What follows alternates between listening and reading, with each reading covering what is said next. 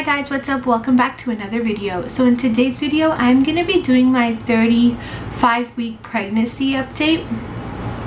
By the time you're watching this, I am 36 weeks basically. I know, I'm 36 weeks in about two days. And I have another video that needs to go up for this one. So I'm to be 36 weeks by the time you're watching this. So I'm to be talking about how I'm feeling this week emotionally i'm feeling excited. Um, at the same time nervous of course but i'm feeling excited because it's coming to an end. And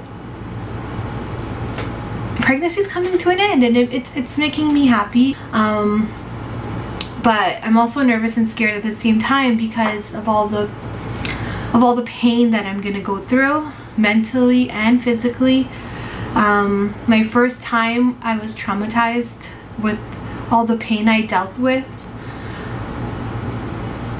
When they checked for dilation that was so painful. Everyone's different. I know some mamas to be say that it's discomfort they're not comfortable at all but they don't feel pain. And then some women say they feel pain when they're getting checked for dilation. For me i experienced pain like at a level 10 I remember screaming at the top of my lungs every time they checked me for dilation.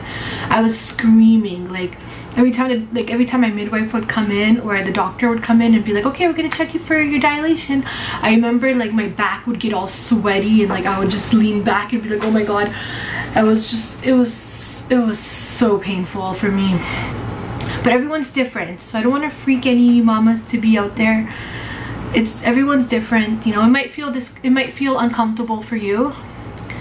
So let's just hope for that. It's better than pain, pain. Um, I hope this time around I feel uncomfortable versus the pain. I don't want to feel that pain ever again. It was the worst pain ever. I would say it was worse than my contractions. The yeah it was really intense the dilation but I'm really nervous about that pain. I hope I don't feel it this time around. I hope I don't. I really hope I don't. I'm, I'm, I'm, I'm I, I can't even talk just thinking about that pain. But at the same time, I'm excited, you know, that's the positive side of it because pregnancy's coming to an end. So that's how I'm feeling emotionally, like a roller coaster kind of. Like I'm happy and then I think about like, the pain I'm gonna go through and then I, it, it brings me down and then I start thinking positive because that's the right thing to do. And then I get happy you know I get excited I get happy and just looking at like baby clothes makes me happy so I'm trying to stay positive you know and it works it really works. I finally have some notes in front of me. I remember my last pregnancy update I regretted not having any notes but this time I, I, I have notes so if you see me looking down, I'm just reading the notes I wrote. Also emotionally, I am I am a mom already, so I know what to expect. Um, I know I just know what to expect more, you know, so I'm not having anxiety at all at that part at all because I just know what to expect. I know what to do. So that part is great. Going to talk about physically, okay? How I've been feeling physically. I am very happy to say that I haven't felt any heartburn.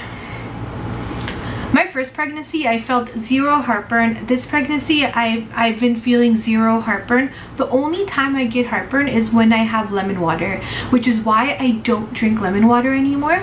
I just drink cucumber water, and cucumber water makes me gassy a bit. I know that's a little TMI there, but it, it really does. Um, I think that's normal though. I've been going to the bathroom every single day. Um, my bowel movements have been great.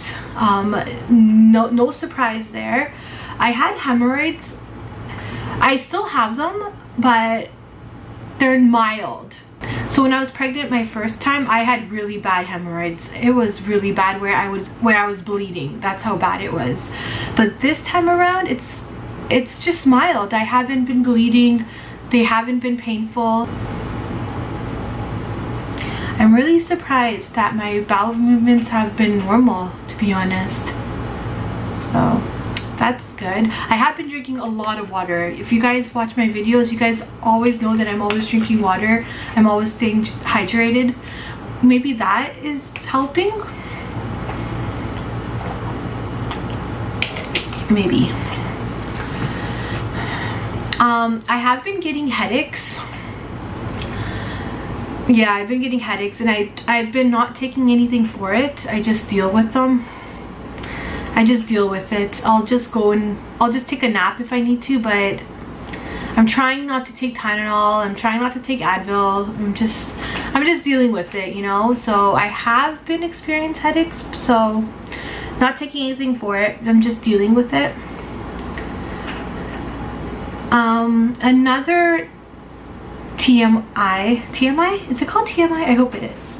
But another TMI symptoms I have been feeling is I have been gassy and it's not because of the cucumber water um okay you know what I've heard before where people say, oh, no one farts like a man. That's not true. That is not true at all. Not true at all. Females, especially pregnant women, nobody farts like a pregnant woman. And if you are a partner of somebody that's pregnant and you're thinking like, oh, she doesn't ever fart, oh trust me she's doing it behind closed doors okay no one farts like a pregnant woman i'm telling you so i've been so gassy this week um i know it's tmi i told you. I told you. I warned you. Very gassy. Um it's to a point where it's kind of constantly i know i know it's so embarrassing but it's kind of constantly like i have to be careful when I'm in public basically. That's how much I have to release myself. Um, and when I have like Bradley in the room with me I, am very careful not to not to you know um, release myself when he's around because I, it's I, it's too embarrassing. I can't do it. I just can't do it. I'm way too shy to do it in front of him. We've been together for like almost 10 years and I, I'm too shy to fart in front of him. Like what? I'm sure he's not gonna mind. He knows. Like he always says if you need to go ahead and stuff. You know you're pregnant. I understand. So i'm like no way. I'm never doing it in front of you. But there are some times where it will come out um by mistake and those you can't control at all. You can't control those at all. But there are sometimes like 80 percent of the time you can control it and you know when it's coming.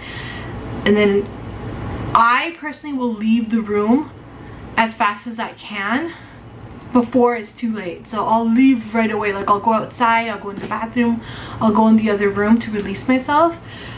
But yeah nobody farts like a pregnant woman i'm telling you. There it, it's just a thing um and i feel like nobody talks about that because you know it's embarrassing. Why does anyone want to talk about that? But i'm telling you it's a thing. So if you're a pregnant woman or a pregnant person, whoever's pregnant out there for you, just know it's a thing and she's she's probably just not doing it in front of you. Like me, I don't do it in front of Bradley at all. I try not to at least. So yeah, I've been very gassy this week. Um, extremely gassy. I'm not even gonna hide it. Um, but it's just temporary you know it's a lot going in my uterus there's a lot going in my gut there's a lot going in my digestive system there's a lot going on in my stomach you know so you are to be gassy it's just it's a natural thing it's a natural thing so don't be afraid to talk about it I have been feeling a lot of pelvic pressure down there and I partially think it's because I started to dilate. I I feel it. Um, I've dilated before, so I know what to feel when it comes to dilation.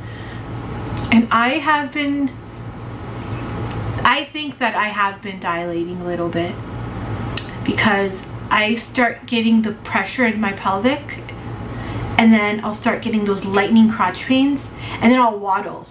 So that's a that's a sign of dilation right there and I am hitting my ninth month literally in two days. So I wouldn't be surprised if I did dilate.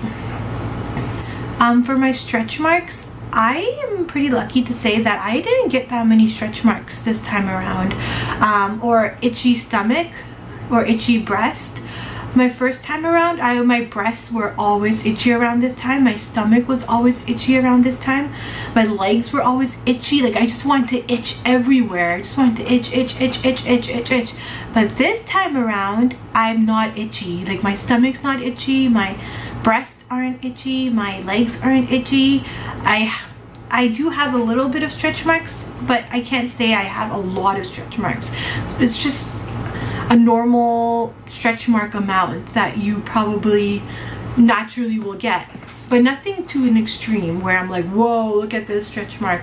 I'll show you guys a bump update again um, after I tell you guys some of my updates I have been feeling very clumsy. I drop everything and that's normal because the muscle you have in your hands it's something to do with it's not the same anymore um, when you're pregnant. So being clumsy while you're pregnant is normal. So don't feel bad if you ever drop something. Like the other day I was making a sandwich and I dropped the knife with the mayonnaise on it like mayonnaise side down on the and I was like oh my god. I drop everything now. So and I'm just like oh, okay whatever. Dropped I dropped it or I broke a dish the other day too and I'm like all right broke a dish big deal. You know so i'm okay with the clumsiness because i know it comes with pregnancy.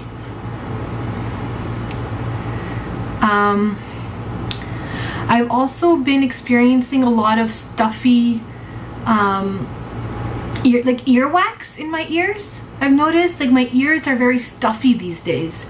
Um and I looked it up and my midwife even said that's a normal thing. Um, having a stuffy ear um, increases like your earwax. And I'm like great. So I'm gonna probably take care of that once the baby's here. I might have to go to my doctor and they're gonna probably clean out my ear with like the little tube thing and then they're gonna take out all the earwax because my ears are stuffy. I'm having trouble to sometimes hear what the other person is saying. I'm like what? What? What? What? So that has been an issue for my breast. I haven't been having any breast milk yet. Um, they're dry. I haven't been experiencing anything wet in my nipple or anything. Um, so maybe my milk has not come in yet or it's not ready yet, which is completely fine. Once the baby's here, then, you know, that's when your milk starts coming in. So I'm not too stressed out about that. I have been kind of feeling big, that's for sure. Um, I've been feeling big. Even though I've been exercising every day, I've been drinking water every day, I have been feeling big. Like my back is like, just, I just feel wide. Um, I feel wide and you know, you lose confidence a bit too, especially at your ninth month pregnancy. You do lose confidence a bit, but you know, you gotta stay positive. you gotta stay positive and just know like, you know, no, you don't look bad. You look fine. It's all in your head sometimes. But it can be a thing, you know. Some people can, it can really put people down sometimes. Um, but the important thing is to just stay positive about it and you know like you are growing a human inside of you so you're definitely definitely not gonna look the same. But that's okay. That's okay. I personally think i've changed a bit during my pregnancy. And am i okay with it? Yes. Um so yeah. Um what else do i have? I think that's all i have in my notes to be honest. Um, I haven't done my group B strep test yet. Um, I'm, I'm holding it off as long as I can to be honest because I'm so terrified of like just letting anybody my midwife my doctor anybody like put anything up there or checking me down there.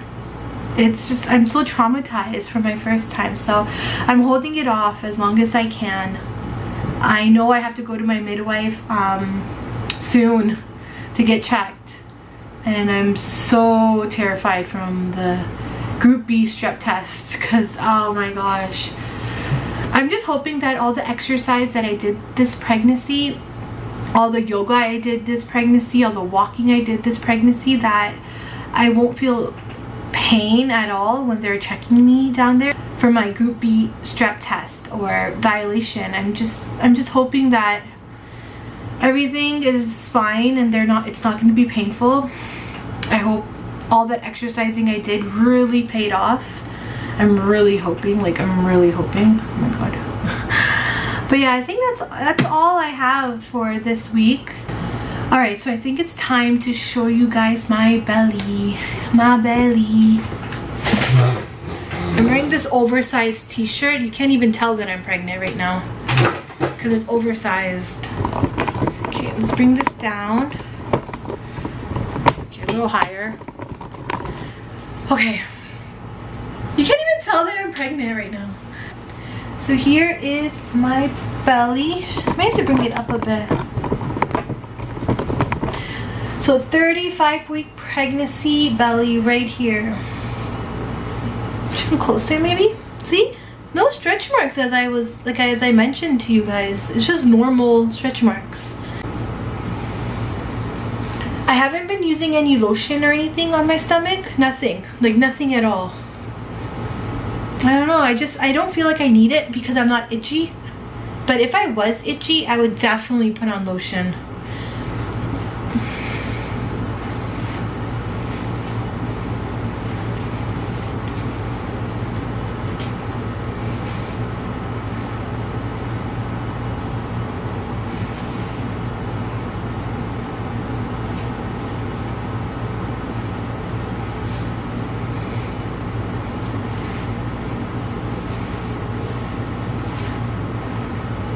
There you go. I think you guys got a nice little shot. Excuse me. Yes.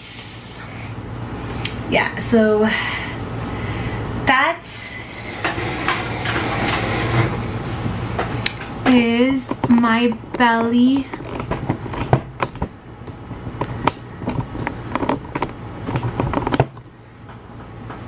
Alright, so that is my belly update for today. Um, I'll be doing another pregnancy update next week when I'm 36 weeks pregnant. Whew, it's getting so close. okay, well, that is it. Um, thanks for watching. If you guys enjoyed today's video, don't forget to give it a thumbs up and subscribe. Click my notification bell so you don't miss any of my videos and I'll see you guys next time.